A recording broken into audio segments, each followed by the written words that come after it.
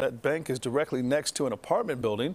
Now, police just responded, so they haven't given us much more information yet. But thanks to our crew on the scene, you could see that that ATM has been torn apart.